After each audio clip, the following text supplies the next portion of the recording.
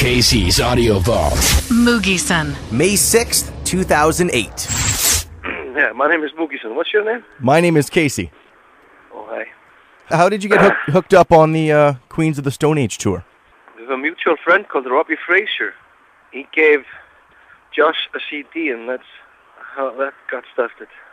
Now we're a big, happy family. Yeah, you're getting along on the road?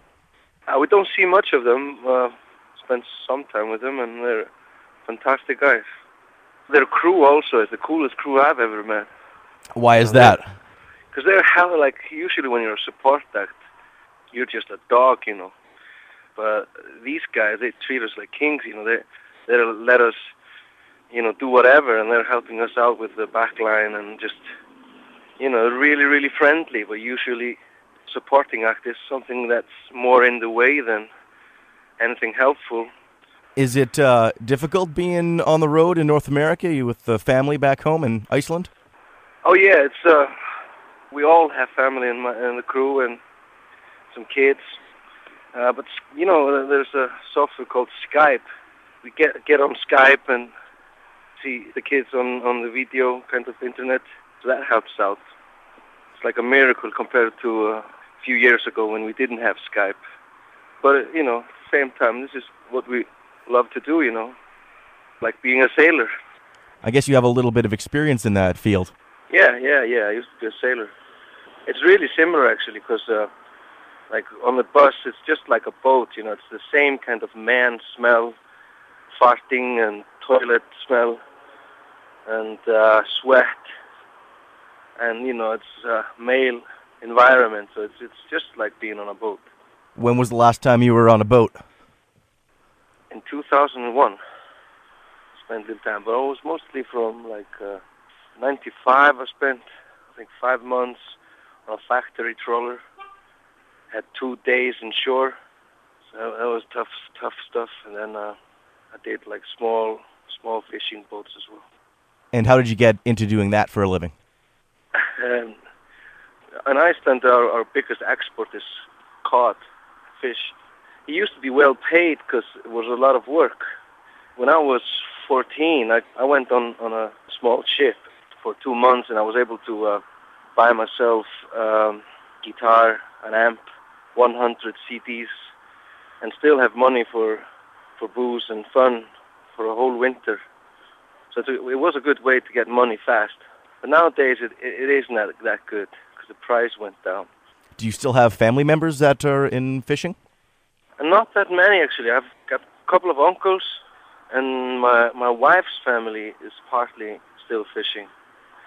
We live in a small village in the, in the northwest part of Iceland, in the West Fjords. There's only like 100 people in our village, and there are lots of sailors there.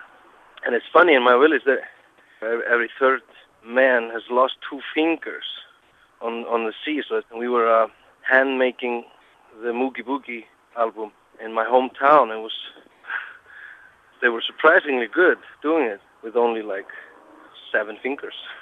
So your debut, you pretty much did everything yourself, even hand stitching, but you had help from uh, people in the town as well? I had a few family members coming over for weekends and stuff when I did the first one. But uh, I spent two months, it's like 12 to 16 hours a day hand stitching everyone, uh, 13,000. For this one, uh, we did 10,000 for Iceland, and that's all sold up. And then uh, we did 20,000 with the whole town. Uh, we had a few nights like with uh, different kind of groups, like the old folks, old ladies. You know, we had coffee with them and cakes, and did a couple of like 600,000 CDs or something. And then, uh, you know, the kids came a couple of evenings, and the whole whole town pitched in and helped out. That seems a little bit different than musicians in North America. yeah. Well, I figured, you know, it's uh, uh, I wanted to be really special because I think this is, you know, my last opportunity to do an album because the format it's changing. So I wanted to be really special, and You mean just going into digital? yeah, So you figure this will be the last that's why. I, yeah, handheld album? yeah, that was the idea. Do an album that that would, that would sound like it was a best of album. Because I love best of albums because they're so schizophrenic. They're spanning ten years or something of somebody's career, like David Bowie or Led Zeppelin or something. You know, it's so schizophrenic, and I, and I, and I, and I love that element. So I I figured I'll, I'll do the last album like it was a best of album, but nobody had ever heard it. So you really think you're not going to make an, another one? I'll probably make one. You know, it would be available on CD, but it wouldn't. You know, it's changing so fast now. Finally, it's like when you had vinyl, people were thinking in sides, A and B sides. It's like 15 minutes and 15 minutes, and then the CD, which was a 60-minute format.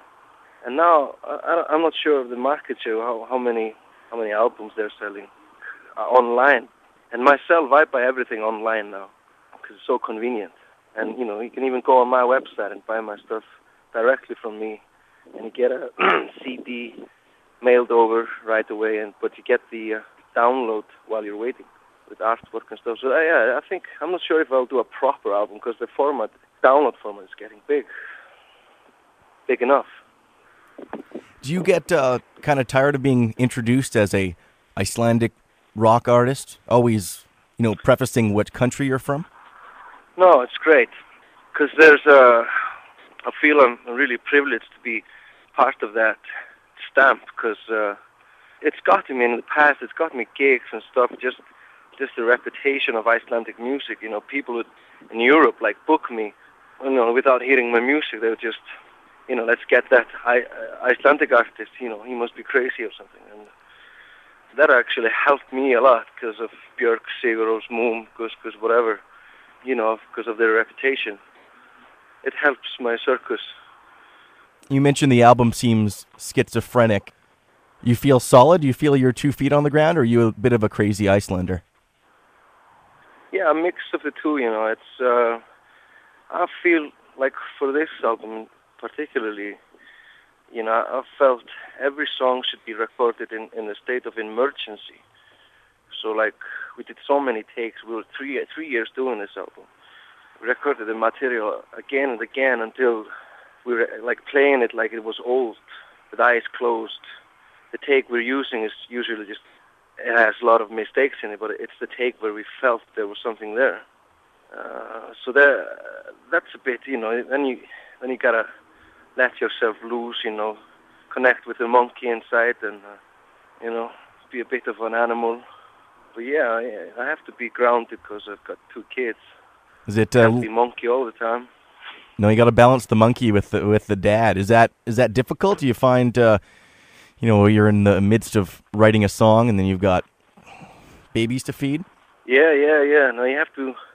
Yeah, I've got a three-year-old and a one-year-old, and. Uh, Actually, it made a good kind of change for me because that meant I have to wake up in the morning like seven o'clock.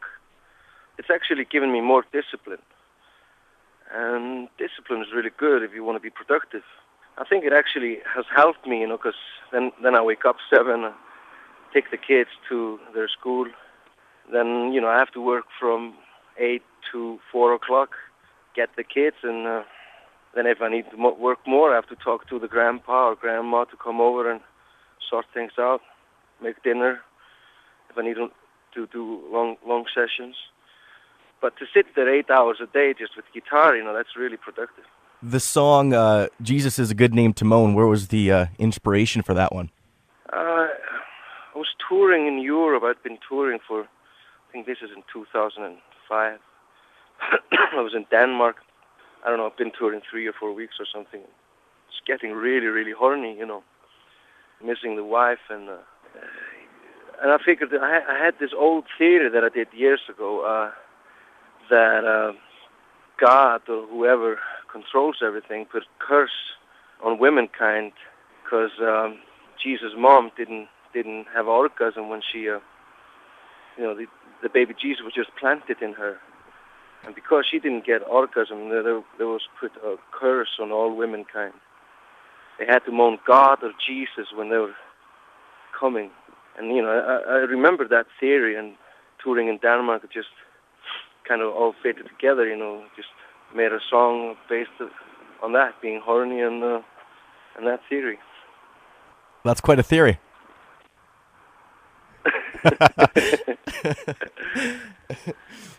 Well, I yeah, I, I, I, appreciate uh, getting you on the phone. By the way, whereabouts are you today?